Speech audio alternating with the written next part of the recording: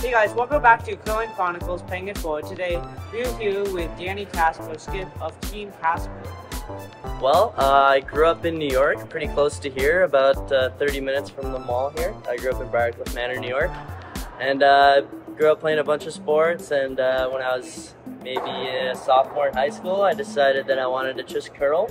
Um, so I decided to quit all the other sports and just curl. And I went to college, uh, making sure I was near a curling club. So I went out to University of Minnesota, and uh, now it's a lot of what I do. So that's about it. Okay, so uh, how did you get into curling and how old? I got into curling. I was 11, and I got into it through my dad. His family, um, his extended family, did it at a pretty high level, so they got me into it. And Andrew Stopera, member of Team Dropkin, I don't know if you guys know him, but he he and I grew up together in the same town, and he got me into it and got me to really try to be competitive with it. So that's kind of how it went. So, uh, how did you and your team become a team? And tell us about your curling journey.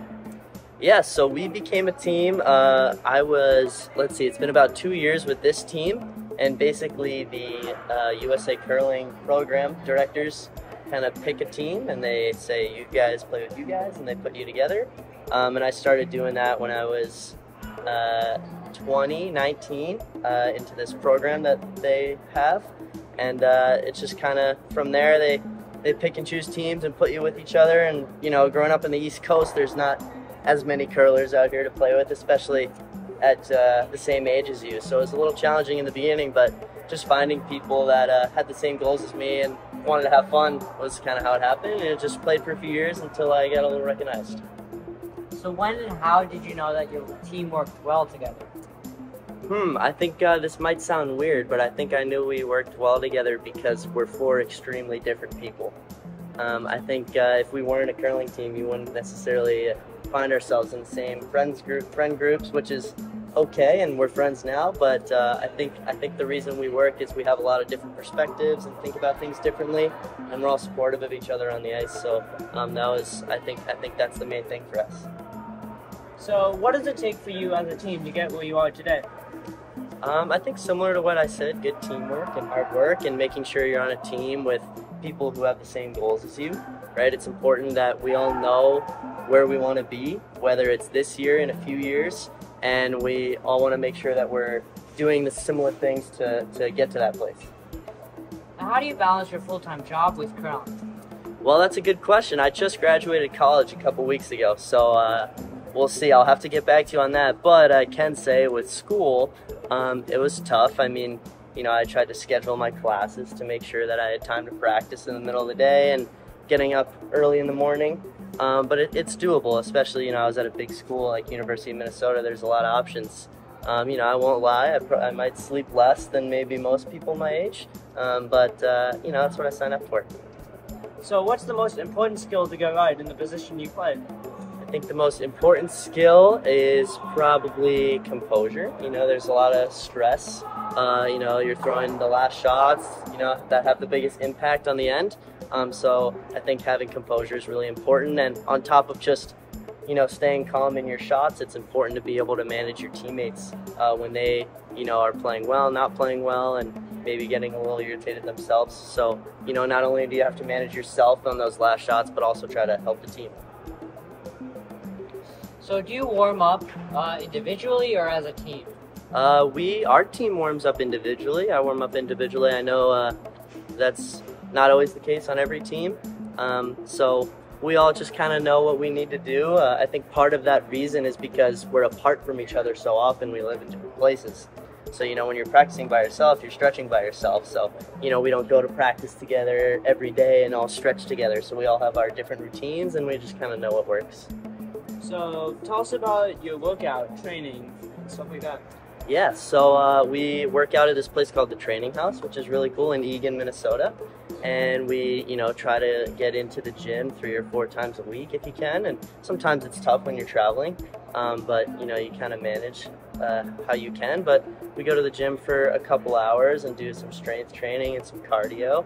And uh, yeah, yeah, it's fun. Now, what is your mindset is if your team is down points in a game, and how do you stay focused and motivated?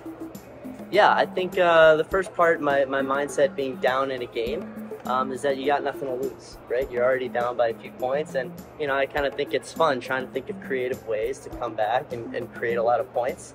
You know, you can get a little tricky, you can take risks, um, so it's kind of fun in a way. Obviously, you know I'd prefer to be winning, um, but I think making sure that you have the right mindset about it um, is is a good way to do it. Um, and what was, what was the second part of the question? How do you stay focused? How do I stay focused? Well, as you can tell, I don't stay very focused uh, all the time. Um, but I, you know, there is some truth to that. I think uh, a lot of people know about me that I like to be a little silly out there sometimes, and I think that's important um, to take your mind off it for a few seconds here and there, because you know there's a lot of thinking out there and strategy and managing teammates. Um, but at the end of the day, I think a lot of it is leaning on teammates, right? You know, there's four of you out there, and there's always at least a couple of people doing something. So um, making sure that you talk to your teammates and know what everybody's kind of in charge of. So, how do you prepare for big shots? How do I prepare for big shots? I try to prepare for big shots the same way I prepare for, you know, not big shots. Um, I think, you know, I like to think I do a, a decent job of just going about it the same way and staying calm. But maybe if you're struggling to do that a little bit, uh, it's important to take your time in the hack before you go. Sometimes when shots or moments are getting a little stressful, it's easy to rush and, and not do things the right way. So it's a good reminder, and my teammates remind me too sometimes to just uh, take my time and stay calm and breathe, and you know you're in no rush. So how do you talk after wins or losses? Uh, yeah, I think we, you know, we, we try to talk about the games the same way, whether we win or lose. Um, our team tries to focus on you know how we helped each other out on the ice as teammates, whether we won or lost. You know, our team we're not super big on outcome goals, and by that I mean winning this many games or getting this far in a tournament. You know, in our opinion, you're trying to win every game. You're trying to win every tournament, right? You're not out there saying, "Oh, well, if we lose this one, it's okay." And I know sometimes it is, but the goal every time is to win. So the way that we talk about games is less the result and more so how we went about it as teammates and maybe things that we noticed about the ice. So, who has been the toughest opponent you've played and why? Toughest opponent we've played? Well, um, you know, there's obviously John Shuster in the U.S. and Tim and uh, Korey Dropkin are both really good teams. Uh, we were lucky enough recently, just a few weeks ago, to uh, go to our first Grand Slam event uh, in Canada, which was really cool. We played the number one team in the world and had a really nice game with them. Lost on the last shot, but you know, it's uh, those those events are really cool to go to because those are the best teams in the world, and you want to see how you stack up. And you know, we're we're still a pretty young team, so it's exciting to get to play those teams and and uh, try to improve. And what's a moment in your career that you're most proud of? Moment in my career I'm most proud of? Um, I'd probably say winning junior nationals. Um, you know, there's lots to be proud of and lots of exciting things, but you know, growing up curling for however many years, uh, you know, that's what I think about, and what you think about is winning junior nationals. I think uh, when I was younger, I didn't think this far to where I am now, like playing in the nationals and playing at these slam events that I mentioned. My uh, imagination didn't, didn't go that far. So for a long time, the focus was winning junior nationals. Um, so uh, th- that was fun. Yeah. So, what are some tips to making it uh, to the making it to nationals level to the very top? Yeah, uh, I think uh, important things to keep in mind are, are one finding people that have the same goals as you, as you, like I said earlier, and finding people who support each other and work hard. And obviously, you need to do all those things yourself. Um, but at the end of the day, you know, you, you see a lot of people focusing on one sport and trying to master it, which is which is good. But like I said earlier, I grew up playing a bunch of sports, and I think it's good to take a break from curling. Like you don't need to think about curling all the time. Um, in the summertime, we we don't curl for a couple months, and I think that's important. So uh, you know, don't get caught up in trying to trying to be the best as fast as possible. You know, obviously you want to be good quickly, but you know that you have lots of time and, and you need to be patient and it's important to do other things on top of curling.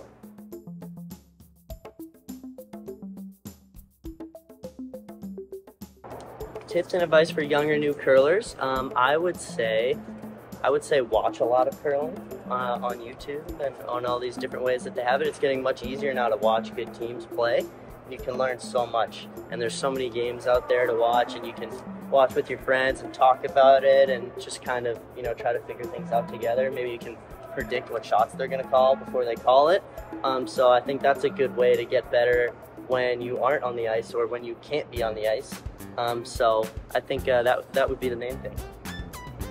So thank, you so much, for taking the time to do this. Yeah, thank you guys for having me. Thanks. Good feeling.